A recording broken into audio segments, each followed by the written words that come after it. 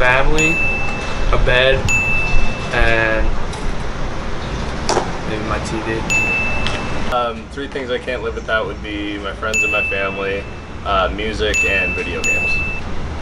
Three things I cannot live without. I'm gonna go ahead and say a bed, roof over my head, and um, I'm gonna say technology.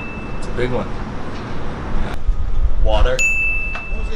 I'm gonna say water, the Bible, and baseball. to go with food for sure. I love eating. Yeah, it's one of my favorite things to do. Um, internet, right? Just kind of sparing time with the internet. And then three, um, sports in general. Um, any kind of sports. Watching them on TV, playing them, anything like that.